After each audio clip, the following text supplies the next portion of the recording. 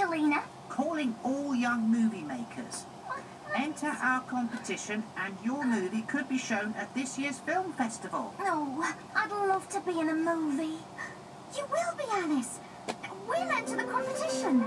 I'll play this beautiful young ballerina who who breaks her tail and is told she'll never dance again. But she overcomes her injury and becomes the greatest dancer ever.